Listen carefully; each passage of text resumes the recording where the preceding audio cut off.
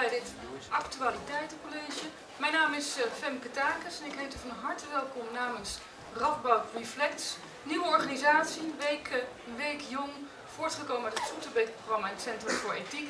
En uh, overal manifesten aanwezig deze week en volgende week. En fijn dat u er bent. Vandaag een actualiteitencollege met hoogleraar interne geneeskunde Jan Smit. En we zijn heel blij dat hij hier iets wil komen vertellen over de zelfmetende patiënt. College met discussie zal duren tot half twee. Maar eerst krijgen wij een aftrap van onze campusdichter um, Jordi Lammers. Ik zal het goed uitspreken, Jordi Lammers. En die zal ons even een introductie geven over de zelfmetende patiënt. Van harte.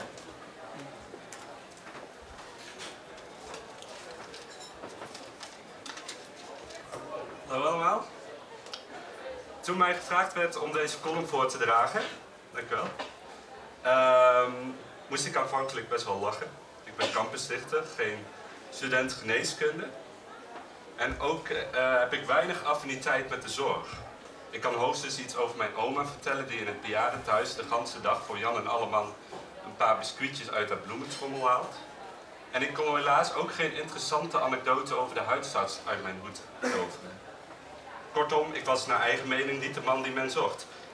En toch sta ik hier om mijn licht, of beter gezegd, mijn luttele ampères over dit onderwerp te laten schijnen. Want voor alles is een eerste keer. En hoe vreemd de kleren van dit thema mij ook staan, ik kan er wel in proberen te bewegen. Misschien gaat het beter dan ik in eerste instantie had voorgesteld. Ik begin niet voor niets met een inleiding als deze. Ik denk dat mijn primaire reactie om het aanbod af te slaan alles te maken had met een lichte angst voor het nieuwe, het onbekende.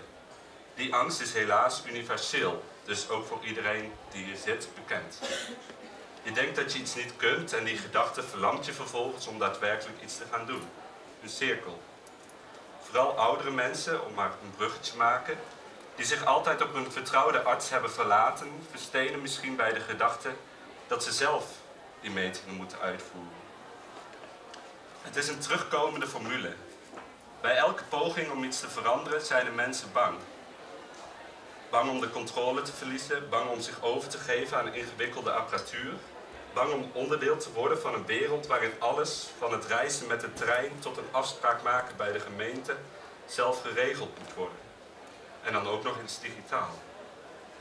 Je ziet de oude mannen en vrouwen verward naar het rode schermpje van de incheckpaal staren. Je hoort de oude stamgasten in het café zeggen dat vroeger alles beter en persoonlijker was. Maar achter dat, ja hoe kan ik het zeggen, gemopper, zit vaak een fundamentele angst om door de tijd te worden ingehaald. Een huiver om moedeloos achter de moderne wereld aan te moeten rennen. Dat is begrijpelijk, maar ook gevoed door een gebrek aan zelfvertrouwen. Net zoals ik te weinig zelfvertrouwen had in een goede afloop van deze column. Want is een dosis ervaring niet het beste medicijn voor een moedeloos gevoel van onkunde? Iemand die aan de hand van een app zijn eigen spiegel meet, zal de eerste keer geholpen moeten worden. Net zoals je de eerste keer uh, leert fietsen door zijwieltjes. De tweede keer zal hij zich iets minder onwennig voelen en alle keren daarna zullen met een steeds grotere vanzelfsprekendheid worden uitgevoerd. Afgelopen week zei de psychiater en ik heb heel lang op deze naam geoefend. Damien Dennis? Dennis? Heel moeilijk. In het programma Zomergasten iets moois over angst. Een thema dat al zijn fragmenten aan elkaar knoopte. Hij zei, zolang je geen angst ervaart, ben je nog niet in contact gekomen met dat wat je echt vrijmaakt. En ik vond dat heel erg mooi. Angst biedt namelijk ook nieuwe perspectieven. Wie ziet dat hij prima zijn zelfmetingen kan monitoren, durft in het vervolg misschien ook iets onbevreesder zijn reissaldo op te laden. We kunnen, we kunnen immers dan we zelf denken. Dank u wel.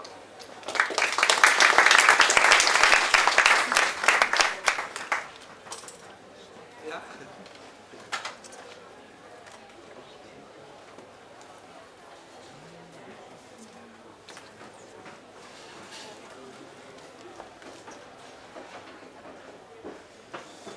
Goedemiddag Ik vind het ontzettend leuk om hier met jullie uh, in gesprek te gaan over zelfmeten. Uh, hele korte introductie, al gegeven eh, eerder, maar ik ben hoofd van de afdeling interne geneeskunde het Radboud ziekenhuis. Werk hier sinds drie jaar. En ik ben heel erg bezig met wat betekent het om dokter te zijn in deze tijd. En een van de zaken waar we mee geconfronteerd worden is de zelfmetende patiënt. En ik wil het graag met jullie hebben over zelfmeten en zelfgenezen.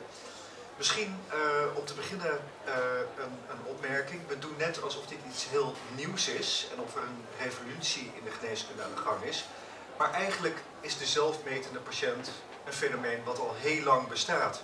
Ik neem jullie even mee naar deze meneer. Dit is een meneer die 35 jaar is. Hij heeft een uh, elektrotechnische opleiding gedaan en hij is nu een manager bij een groot bedrijf en reist ontzettend veel door Noord-Europa. Helaas heeft hij ook suikerziekte, diabetes type 1, een ziekte die, die je meestal op jonge leeftijd krijgt. En daar heeft hij verder eigenlijk weinig complicaties van. Uh, wat deze meneer doet, is hij meet zelf zijn bloedsuiker. Dat doet hij door uh, af en toe dit apparaatje te gebruiken. Er zit een prikkertje in en dat doe je zo op je vinger. Klik. Dan komt er een bloeddruppeltje. En dat bloeddruppeltje stop je in dit apparaatje. Dat kun je gewoon in je binnenzak meenemen. En dat apparaatje zegt dan wat jouw bloedsuiker is. Nou, waarom wil je je bloedsuiker meten? Dat is heel erg belangrijk, want die meneer die spuit insuline. En de hoeveelheid insuline die je spuit, die hangt af van wat je bloedsuiker is op dat moment. En je kan natuurlijk niet vier keer per dag naar het ziekenhuis gaan om je bloedsuiker te laten meten. Dus dat moet je wel zelf doen. En die insuline, die spuit die meneer ook bij zichzelf in. Hij heeft deze pen, daar zit insuline in. Hij haalt het dot eraf. Hij stelt het aantal eenheden in. En hij pakt een huidplooi en dan dient hij de insuline toe. Dus dit is een zelfmetende patiënt die ook zijn getallen, zijn bloedsuikerwaarde zelf analyseert. Hij houdt ze bij in zijn eh, computer en in zijn uh, iPhone. En vervolgens dient hij zelf de hoeveelheid insuline toe. Dit is helemaal niet nieuw, dit bestaat al jaren. Dus dit is niet alleen een zelfmetende patiënt, maar ook een patiënt die zelf analyseert en zichzelf behandelt. Wat gaat er gebeuren in de toekomst uh, met deze meneer? Hij meet al zelf heel erg veel, maar er zijn tegenwoordig uh, heel veel nieuwe ontwikkelingen en technieken. Wat hij kan doen in de toekomst, en daar zijn we eigenlijk al een beetje mee bezig, is dat hij die getallen via het internet uploadt naar het elektronisch patiëntendossier van zijn arts. Dus hij hoeft niet uh, bij zijn arts te komen om deze getalletjes te laten zien. Nee, zijn arts ziet in het elektronisch patiëntendossier wat voor getallen die meneer allemaal produceert. En dus ook wat die meneer aan het doen is op een dag. Of die eet, slaapt, of die in de kroeg zit, of andere dingen die patiënt die heel erg veel op reis is, die vindt het fijn om niet naar het ziekenhuis te hoeven komen. Dus hij legt contact met de arts via Skype of via een uh, systeem dat het Radboud heeft ontwikkeld, dat heet FaceTalk. Waarbij je gewoon op je mobiele telefoon een consult kan hebben met je arts. En in dat uh, elektronische gesprek wordt gesproken over de behandeling. Dus een zelfmetende patiënt een zelfanalyserende patiënt, een patiënt die via elektronica zijn data naar de arts uploadt en een gesprek met de arts heeft via elektronica en dan insuline toedient.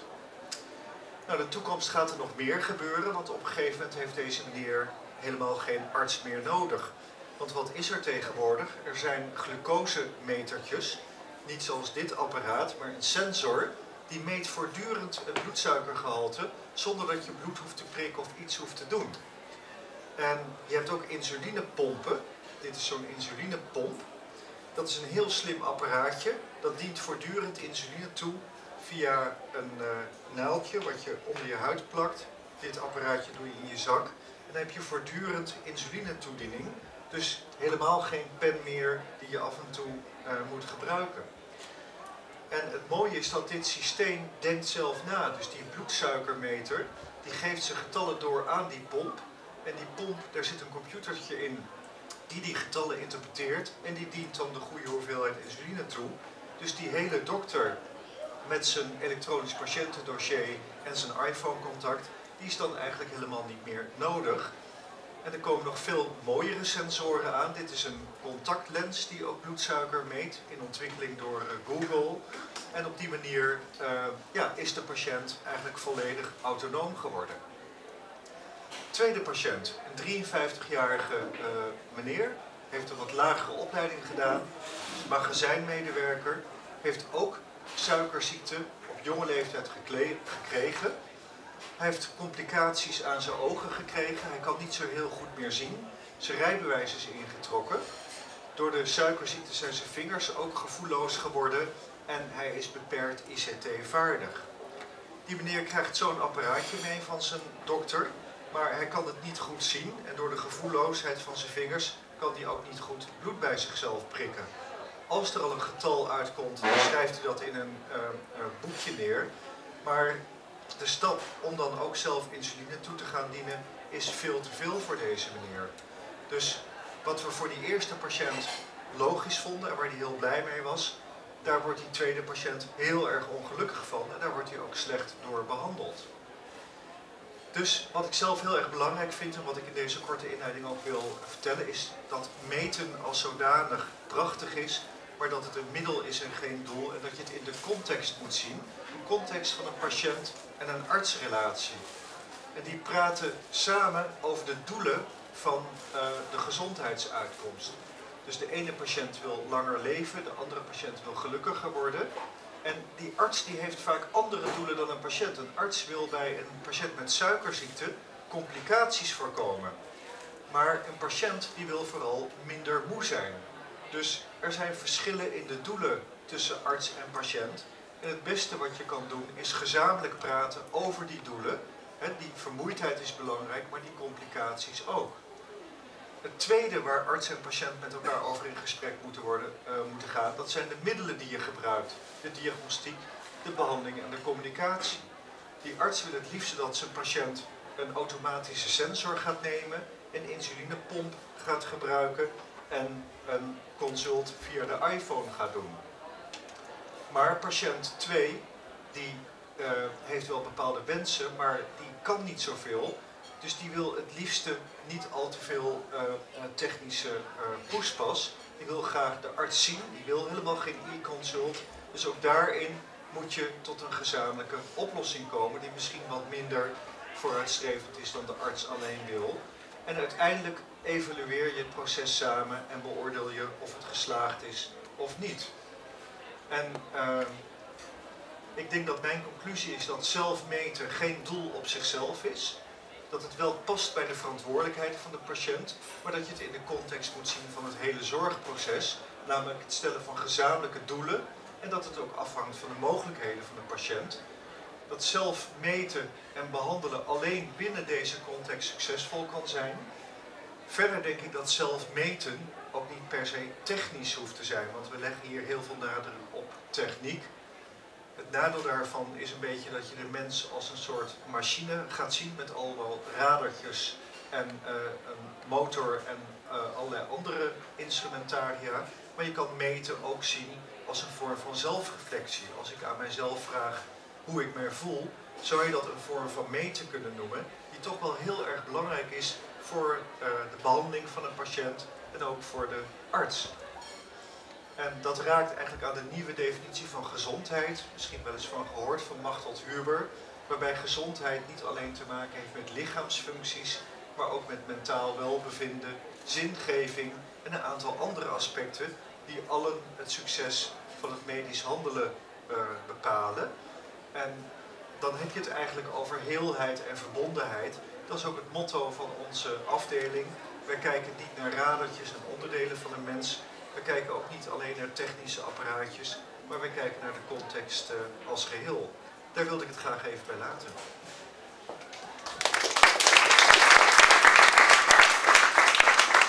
Heel, heel hartelijk dank voor dit uh, prachtige exposé, wat natuurlijk ook gelijk aangeeft uh, hoe genuanceerd wij hierover kunnen denken. Het begon met de aangekondigde zelfmetende patiënt zegen of vloek. Als u daar nu een antwoord op moet geven, wat zegt u dan? Uh, ik denk dat, dat het voornamelijk een zegen is. Want uh, ik denk dat er niemand zoveel van zijn eigen ziekte af weet als een patiënt. En dan bedoel ik met name het ervaren van de ziekte. Wat betekent die ziekte voor de patiënt? Dus hoe meer uh, die patiënt zelf ook een rol kan spelen in het omgaan met de ziekte, hoe beter dat uiteindelijk voor, uh, ja, voor het omgaan met die ziekte en ook de behandeling zal zijn. Dus ik denk dat het vooral een zegen is, maar dat we wel goed moeten zien dat dat meten inderdaad niet iets is wat op zichzelf staat. Als je gaat meten zonder dat de context klopt, dan kunnen er hele grote ongelukken gebeuren. Ja, precies, want die, die risico's, hè, we hebben nu uh, er worden een beetje, toch een beetje, als je kritische noten hierbij wilt plaatsen, dan lijkt het toch of je een angst voor innovatie hebt, begrijp ik nu van de columnist. Uh, maar er zijn denk ik toch wel kritische noten te plaatsen. Bijvoorbeeld, uh, gaan mensen wel goed om met hun meetapparatuur? Krijg je wel goede data? Ook daarvoor geldt denk ik dat als je ehm, ehm, iets goed wil doen, en je hebt er zelf wat minder verstand van, dan is het altijd handig om bij iemand te, raden, te gaan die daar verstand van heeft. Dat geldt voor alles in het leven geldt ook voor je gezondheid. Als je dingen bij jezelf wilt gaan meten en je hebt niet zoveel verstand van meetapparatuur en ook niet zoveel verstand van de getallen die zo'n apparaat uh, uitspuwt, dan is het verstandig om bij een adviseur te raden te gaan. Nou, een arts kun je een adviseur noemen, een gezondheidsadviseur. En die kan jou informatie geven over welke apparatuur klopt, hoe je met getallen moet omgaan, maar ook of die metingen als zodanig zinvol zijn of niet. Als je dat niet doet en je, je zegt van ja, ik, uh, ik ben autonoom, ik ga apparaten kopen, ik ga dingen meten, ja, dan kunnen er dingen gebeuren die uh, vervelend zijn voor een patiënt. Noem een voorbeeld, je hebt vlak over de grens een organisatie die heet Pre-Scan, misschien wel eens van gehoord. Daar kun je een MRI-scan laten maken van je hele lichaam. bekende Nederlanders die doen dat af en toe ook. En op zo'n MRI-scan krijg je soms dingen te zien. Uh, er zit ergens een bobbeltje in je lever. Nou, wat gebeurt er dan? Uh, daar moet dan een punctie in gedaan worden om te kijken wat die bobbel is. Nou, in 99% van de gevallen is dat helemaal niks. Maar zo'n punctie heeft wel in een aantal procenten uh, van de gevallen ernstige complicaties. Dus als je inderdaad zelf metingen gaat doen, scans gaat doen zonder dat er een bepaalde reden voor is, dan loop je de kans dat je daar gezondheidsschade door oploopt. Maar ook dus het, het apparaatje wat je van de dokter meekrijgt, zou ik maar zeggen, kan eigenlijk niet zonder een goede educatie en zonder goede begeleiding. Inderdaad, een dokter die, uh, zoals bij patiënt 2, een uh, tas meegeeft met een aantal apparaten van zoek het maar uit, dat is een slechte dokter. Is het nou ook zo dat als mensen zelf gaan meten en ze dus uiteindelijk minder bij die dokter komen, dat, dat het beeld dan misschien, uh, dat het contact ook minder wordt? Is dat, wat betekent dat voor de, voor de arts? Ehm, dat kan. Ik denk dat ja, ouderwets is om te zeggen dat een goed contact alleen kan bestaan door bij iemand op bezoek te gaan. Ik denk dat dat wel de mooiste vorm van contact uh, is. Want uh, ja, onze zintuigen komen denk ik met name tot zijn recht in een uh, fysiek contact. Maar dat kan niet altijd. Het is vaak onhandig en ook niet altijd nodig. Dus zo'n patiënt die zal zeker af en toe eens bij een arts langs gaan om de doelen te bespreken. Als je het eenmaal eens bent over doelen en middelen, kan het best zijn dat een aantal contactmomenten tussendoor via elektronische media kan plaatsvinden. Net zoals wij dat allemaal met onze vrienden doen op de social media en Skype, noem maar op. Nou ja, dat klinkt natuurlijk vrij ideaal. Als, als ik die verhaal hoor, denk ik, ik zou een patiënt zijn, het lijkt me geweldig. Maar nou denk ik even aan de oma van Jordi en denk ik, ja, hoe, hoe gaat dat dan? Uh, gaat ze ook op Skype? Uh, ja, dus dat, is eigenlijk het, het, het punt wat we hier, hier bespreken. het kijken naar de middelen. Uh, als ik een, een oudere patiënt heb die niet ICT-vaardig is en behoefte heeft aan heel veel steun en fysiek contact, dan gaan we zo'n patiënt niet lastigvallen met meetapparatuur en ook niet lastigvallen met e-consulten. Dus het is heel belangrijk inderdaad wat de wensen en mogelijkheden van een patiënt zijn. Dus je moet dat echt zien in de context van persoonsgerichte geneeskunde. En wat wij dus niet willen is wat de banken op een gegeven moment doen. Die sluiten kantoren en je wordt haast gedwongen om elektronisch te bankieren, want anders kan het niet meer. Nou, dat gaan we de gezondheidszorg absoluut niet doen. Dat willen we uh, zeker niet, uh, omdat we denken dat we daarmee slechte zorg gaan uh, leveren. Wat slecht is voor de patiënten, maar natuurlijk uiteindelijk ook niet doelmatig. Als we mensen gaan belasten met allerlei methoden die niet werken, dan kunnen wij vervolgens om dat proces te corrigeren, daar weer heel veel tijd in steken. Dus dat moeten we vooral niet doen. Nee, en ik kan me heel goed denken dat als je vanuit de kwaliteit van zorg en als arts denkt dat je dit geweldig vindt, maar ik kan me ook voorstellen dat mensen die vooral aan de rekenende kant zitten en denken over doelmatigheid van de zorg, die denken nou dat zelf meten, dat kan wel heel erg voordelig zijn. Moet je dat niet gewoon standaard invoeren? Ja, alles wordt in geld uitgedrukt, ook uh, zorg, kwaliteit van zorg. En uh, we weten allemaal dat de kosten voor gezondheidszorg enorm uh, aan het stijgen zijn. Ehm, dat komt onder andere door de beschikbaarheid van hele dure geneesmiddelen voor steeds meer aandoeningen. Dus ja, waar bezuinigd kan worden, wordt dat ook gedaan. Nou wordt er vaak gedaan alsof doelmatigheid, dus kostenbesparing, haak staat op kwaliteit. Ehm, onze stelling is eigenlijk dat als je uh, dat er niet zo doelmatig is of kosteneffectief als het leveren van goede kwaliteit. Als wij in een kort consult uh, met elektronica slechte kwaliteit gaan leveren, zijn we het eigenlijk duurder uit. Dus uh, die invoer van elektronica kan zeker doelmatigheid, doelmatigheidswinst opleveren. Met name voor die patiënt die ik net liet zien, die meneer die altijd onderweg is het zal ons ook wel tijd gaan opleveren, want als, we, als die patiënt op bezoek is, niet meer allerlei metingen hoeven te doen, dan kunnen we andere dingen doen. Bijvoorbeeld een goed gesprek hebben over de doelen van die patiënt. Wat wil die nou eigenlijk met zijn leven, met zijn gezondheid? En daar komen we nu eigenlijk uh, te weinig aan toe. Dus ik denk dat het niet, uh, niet zozeer tijdsbesparing oplevert, maar dat we de tijd uh, kunnen gaan besteden aan nuttiger dingen dan het verzamelen van allerlei getalletjes als die patiënt bij ons langskomt. Dus zo is het een enorme kwaliteitsslag die gemaakt kan worden, juist ook in het contact met de patiënt. Ja.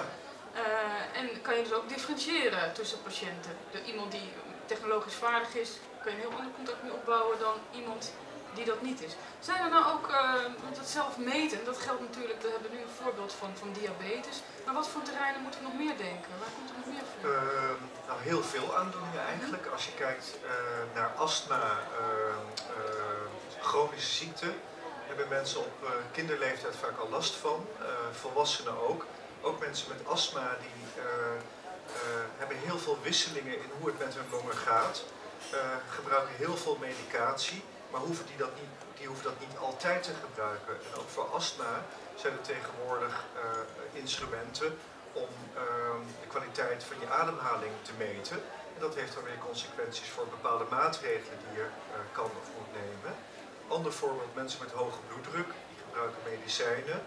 Nou, het heeft niet zoveel zin om één keer per jaar als je bij de dokter komt de bloeddruk te meten. Dus heel veel mensen meten bloeddrukken. Uh, maar die getallen die, ja, die blijven ergens hangen. Uh, wat we nu aan het doen zijn is met al die bloeddrukmetingen van mensen uh, zelf ook algoritmes opstellen, zodat die metingen allemaal naar het ziekenhuis toe komen en de arts ook kan zien wat er precies gebeurt op dat gebied. En zo zijn er eigenlijk veel meer voorbeelden te geven. Betekent het nou niet dat we gewoon enorm veel data krijgen en daardoor misschien eigenlijk nog veel meer zorgbehoefte in plaats van minder zorgbehoefte? Dat je veel meer, op een gegeven moment veel meer weet van patiënten? Ja, ik, ik, denk dat, dat, dat zeker zo is dat er veel meer uh, gegevens beschikbaar uh, komen. Dat zal aan de ene kant leiden tot weldoelmatigheid, want uh, als we op een goede manier data vergaren, die analyseren, zullen denk ik veel meer te weten komen over de werkelijke problemen van een patiënt en dat beter kunnen behandelen. er zit ook een hele hoop ruis.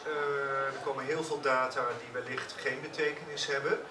Uh, nou, dat kun je als mensen allemaal niet meer uh, verwerken, dus daar hebben we computers voor nodig. Dus zoals je dat op heel veel terreinen ziet, is de beperking uh, in deze tijd niet meer de data, maar hoe we de data mm. interpreteren en analyseren. Vandaar dat wij het ook zo belangrijk vinden dat we daar dingen over afspreken. Maar wat je tegenwoordig ook ziet, is dat veel mensen metingen laten doen. bijvoorbeeld de ziekte van Lyme, vast wel eens van gehoord, komt veel voor. En, een ontsteking die ontstaat door een tekenbeet. Heel veel mensen denken dat ze Lyme hebben en laten bij een laboratorium in België of andere plaats een Lyme-test doen. Nou, de kwaliteit van die test is heel discutabel. Daar komen soms uitslagen uit die moeilijk te interpreteren zijn.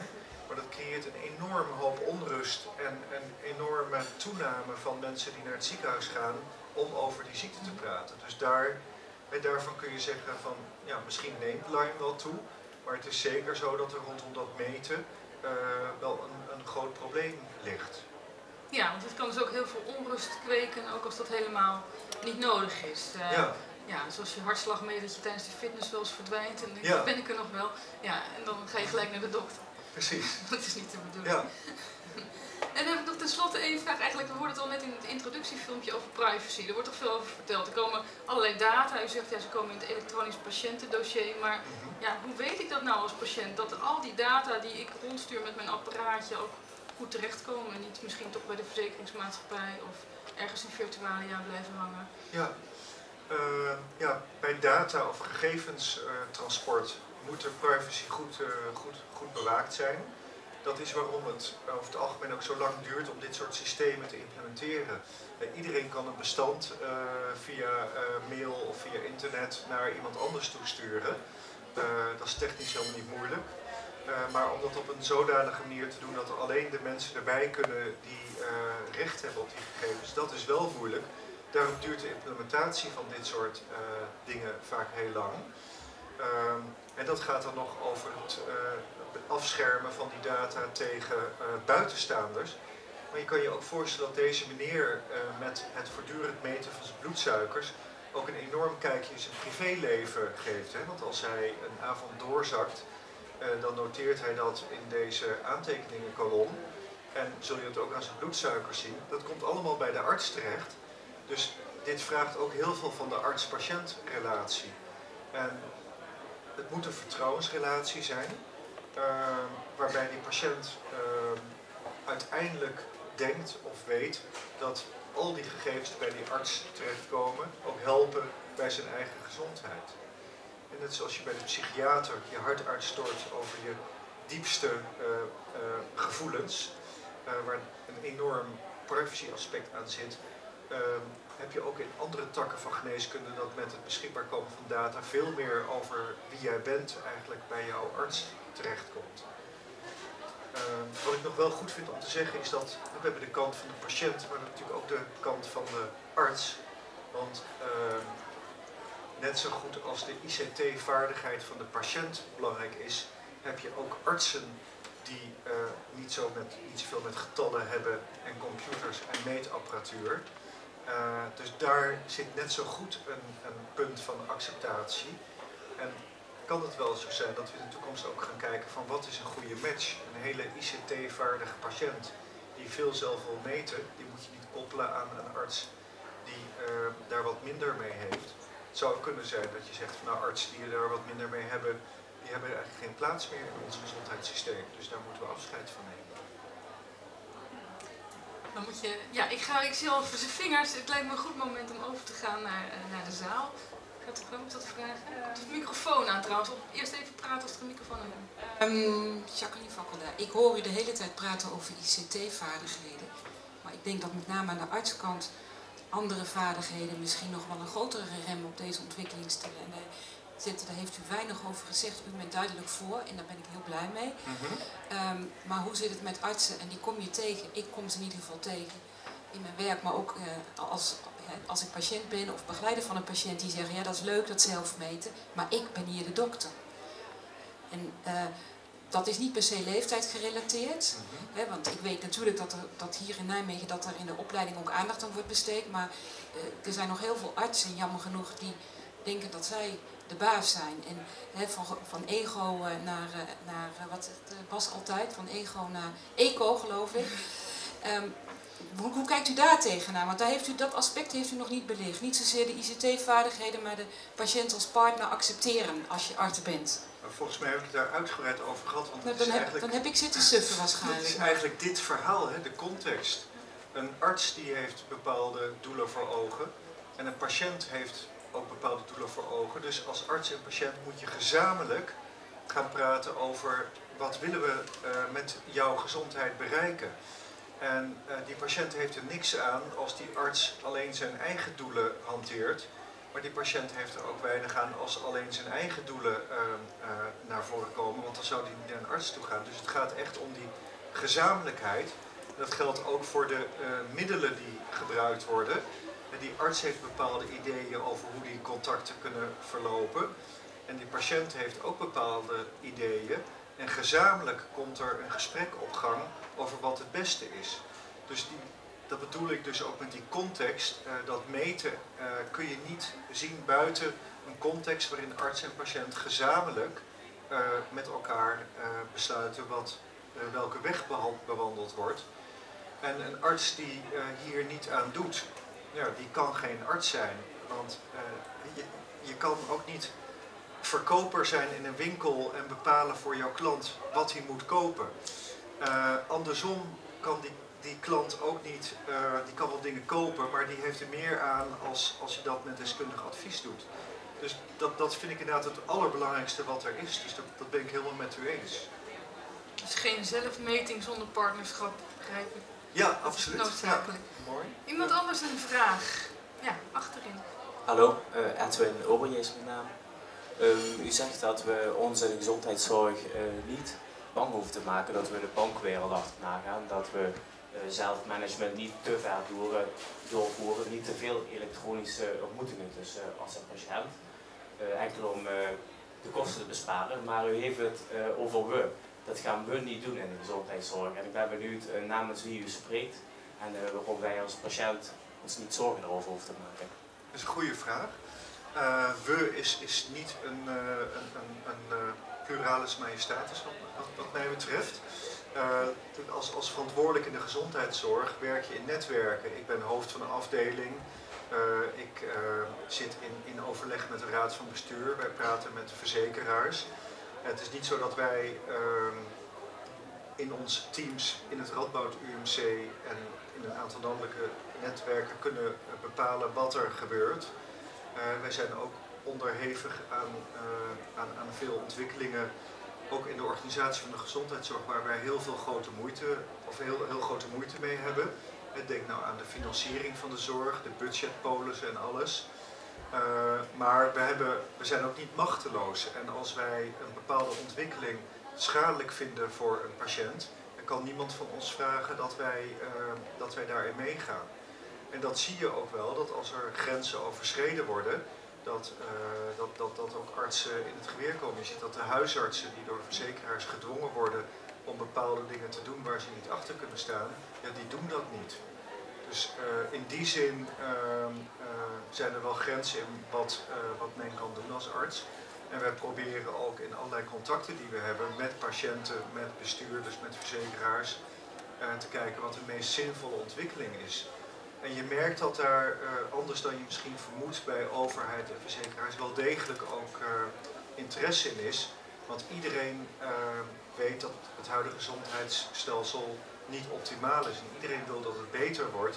Dus het beste wat je daarin kan doen is ook in gezamenlijkheid gesprekken voeren. Dus wat geldt voor een arts-patiëntrelatie geldt ook voor relaties tussen andere partijen, overheid, ziekenhuizen, ziekenhuizen, verzekeraars en noem maar op. Iemand anders een vraag? Hier vooraan is een vraag. Ja, dank u wel, uh, professor Smit. Mijn naam is Tom van der Welt. En uh, u noemt enkele belangrijke stakeholders uit de zorg. En uh, ik ben het met u eens dat we met z'n allen moeten kijken hoe we willen dat het in de zorg gaat. Ik ben benieuwd hoe u de rol van partijen zoals Apple en Google ziet. En dat niet alleen bij patiënten, maar ook bij gezonde mensen. ja, iedereen loopt met een smartphone, die verzamelt alles. Er zijn duizenden apps.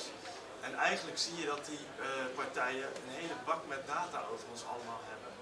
Uh, mijn hypothese zou zijn dat die heel veel invloed gaan hebben over uh, ja, hoe het in de zorg gaat. Ik ben benieuwd mm -hmm. hoe u daarin staat. Ja, helemaal mee eens. Ehm, ehm, het is zo dat er heel veel ontwikkelingen zijn uh, die wij niet zelf bedenken, maar waar we mee geconfronteerd worden. Dat zelf meten, dat, dat uh, ik noemde net even de line test, waar inderdaad iedereen heeft op zijn smartphone uh, apps zitten die dingen meten. En als je die vergeet uit te zetten, komen al die data overal terecht. er zitten denk ik twee kanten aan. het kan zijn dat mensen het willen en, en dat het nuttig is. Nou, prima.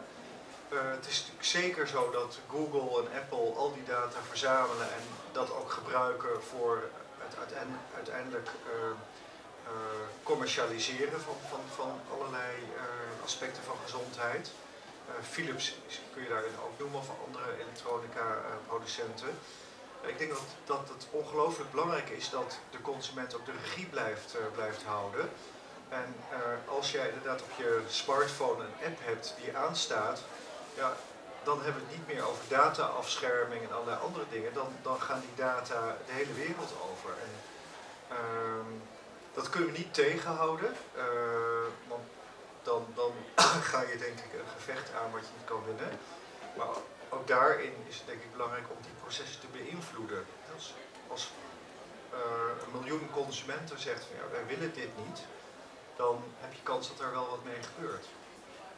Is, is er überhaupt een mogelijkheid dat die, dat die patiënt daar de regie over krijgt? Als er zoveel data, ja niet eens patiënt eigenlijk alleen als wereldburger die die data verspreidt op het moment dat je zo'n appje hebt. En wij zijn dol op gezondheidsapps, want we zijn natuurlijk bang. Of we, uh, we willen graag dingen over onze gezondheid weten. En ja.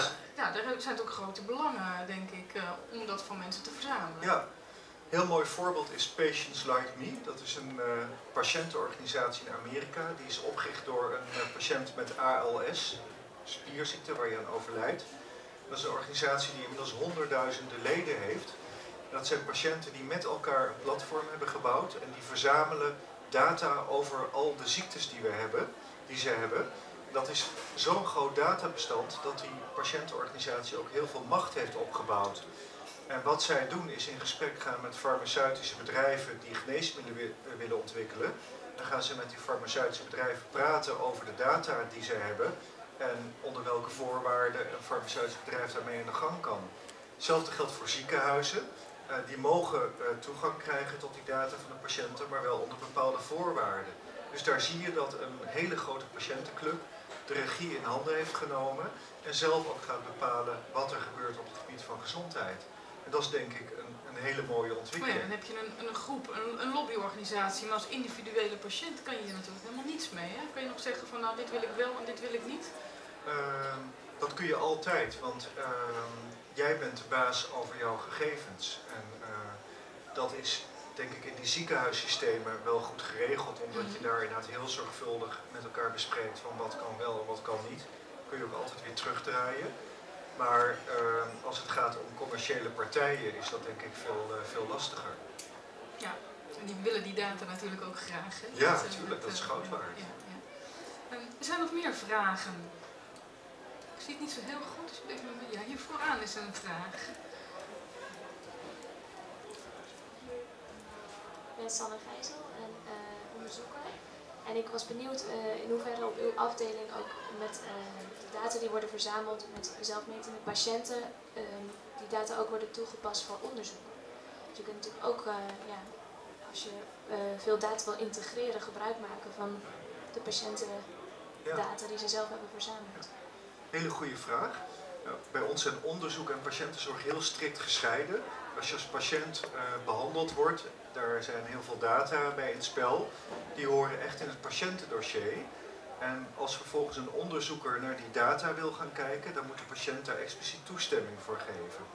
Uh, dus uh, als we bijvoorbeeld bij al die patiënten met suikerziekte zouden zeggen van nou we willen alle getallen op een hoop gooien en kijken wat voor patronen daarin zitten, nou dat soort onderzoek gebeurt, dan moeten die patiënten daar toestemming voor geven. En uh, dan heb je heel veel varianten van data gebruik. Je kan het geanonimiseerd doen, waarbij je de identiteit van de patiënt niet meer kan achterhalen. Het kan ook zijn dat uh, de persoonsgegevens van de patiënt wel beschikbaar zijn. En voor al die aspecten moet de patiënt toestemming geven. Gebeurt dat ook al op uw afdeling? Ja, dat, dat, dat is eigenlijk iets wat altijd al gebeurde. Want ook voor de tijd van elektronica werden er al veel dingen over patiënten opgeschreven in dossiers. En ook daar werd onderzoek mee gedaan. En ook daar moet een ethische commissie toestemming voor geven. Ja. Ik zie, ja. Ik zie er nog iemand een vraag. Hier is nog een vraag. Ja, ik, ik ben Jan Moors. Uh, ik heb een vraag over de kwaliteit van die zelfgemeten datapunten. Je gaf zelf een voorbeeld van die uh, Lyme-test die uh, multi-interpretabel is als je het onderzoek bij het ene lab doet of bij het andere lab. En al die dingen die zelf gemeten worden, ook met je apps, die hebben natuurlijk verschillende kwaliteit. En als het allemaal bij elkaar komt in één database, hoe ga je daarmee om? Ja, dat, dat is een heel goed punt. Uh, je hebt van die uh, zelfmetende plakkertjes tegenwoordig. Die kun je op je lichaam plakken. Die meten bloeddruk en hartslag en zuurstofverzadiging en nog een paar andere dingen. En die worden verkocht. En wij hebben in ons ziekenhuis onderzoek gedaan naar de kwaliteit van een aantal van die dingen. Er blijken enorme verschillen te zijn. Dus ehm, wanneer wij data van patiënten uh, uh, laten uploaden, dan willen wij dat het alleen maar gebeurt met apparaten die van ons een stempeltje hebben gekregen uh, dat het ook betrouwbaar is. Dus wij zullen niet zomaar data gaan opnemen die gemeten zijn met apparaten die wij niet kennen. Als dat een antwoord is op uw vraag. Ten slotte nog een laatste, is er nog ruimte voor een laatste vraag? Wie wil nog een vraag stellen aan professor Smit? Het is helemaal klip en klaar. We weten alles over de patiënt. Iedereen is overtuigd uh, geraakt, denk ik, inmiddels van, uh, van de voordelen. Hoewel we natuurlijk ook zien dat er heel wat nadelen zitten. Hè? Dat er ook nog steeds veel dingen zijn om kritisch over na te denken. Ik denk zeker in de hoeveelheid data en hoe we met die data omgaan. En dat er uiteindelijk dat, dat het iedere keer weer aankomt op die patiënt als partner. Dat je het wel samen doet. Dat niet alleen maar een beetje gemeten wordt. Uh, wilt u zelf nog een afsluitend woord uh, geven? Nou, volgens mij ben ik al heel veel aan het woord geweest, maar ik vind het ontzettend leuk om hierover te praten en met jullie uh, te denken. uit dit soort bijeenkomsten haal ik zelf ook altijd weer inspiratie die mij helpt om hiermee om te gaan. Want het is een gebied wat ja, niet klaar is, misschien ook nooit af zal raken, maar wat alleen met goede gesprekken de goede kant op kan gaan. Dus dank voor jullie vragen ook. Ja, dan rest mij om u allen te danken voor de aandacht en u nog even te wijzen op de activiteiten van Radboud Reflex. elke dag activiteiten gratis voor medewerkers en studenten van deze universiteit. En kijk even op www.ru.nl slash Reflex. Hartelijk dank voor uw aandacht, heel hartelijk dank voor uw bijdrage.